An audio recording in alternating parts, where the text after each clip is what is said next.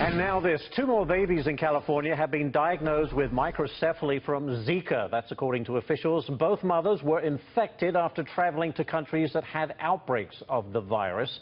The Rio Olympics opening ceremony tonight with thousands of people traveling to Brazil. Of course, one of the regions hardest hit by Zika. So the question is, can the outbreak be stopped or can it continue to spread with everybody going to Brazil? Plus, it's not just Zika that are prompting concerns in that country. Murder rates in Rio also on the rise.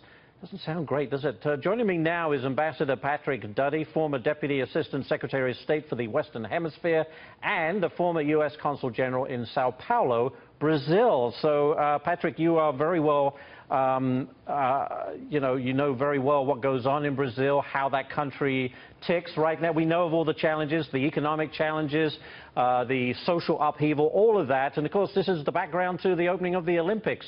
Uh, let's begin with Zika. Um, is Brazil, uh, Brazil certainly was, was first on the radar for this problem. Um, are they equipped to handle how, you know, a lot of people from around the world coming to the games, and have they got a handle on it?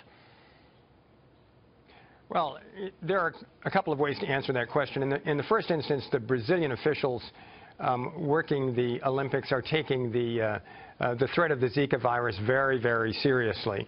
Um, and uh, more generally, in terms of their ability to handle the e enormous crowds that are expected for the Games, uh, Brazil has uh, uh, a lot of experience with handling major international events, and many of them are held in Rio de Janeiro. Most recently, of course, um, the, uh, the World Cup games. Mm -hmm. I think the, the other um, key point here is that in addition to the efforts that are being made to eradicate the mosquito which carries the virus, um, there is um, uh, a seasonal consideration.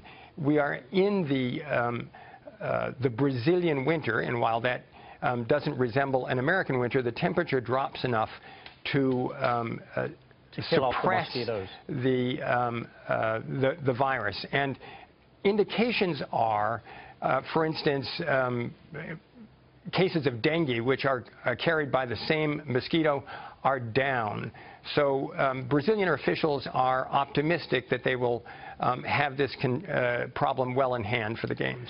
Ambassador, you look, well, there's lots of other uh, issues that have come to light. The, getting the, the uh, facilities built in time. We have the issue of, of course, the threat of terrorism.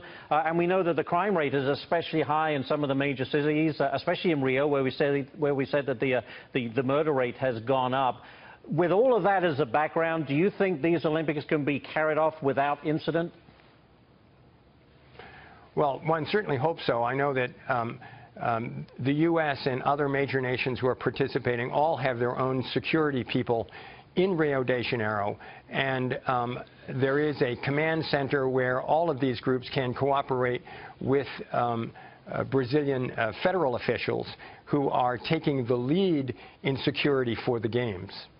What's interesting is if you think, if we turn the clock back, do you think Brazil would rather not have hosted these games? Because as you say, they got the World Cup in 2014, then straight after that we have the Olympics. That's an awful lot for a city to take on and a country which is, let's be honest, financially and politically struggling.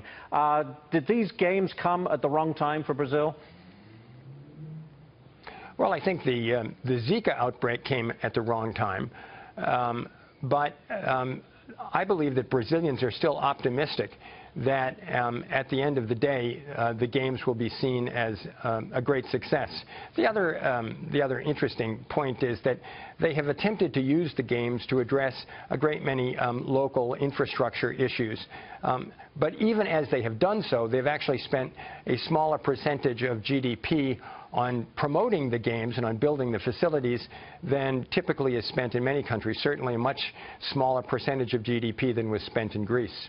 Well, it all kicks off tonight. We hope it is a big success. Ambassador Patrick Duddy, thank you so much for joining us today. We appreciate it.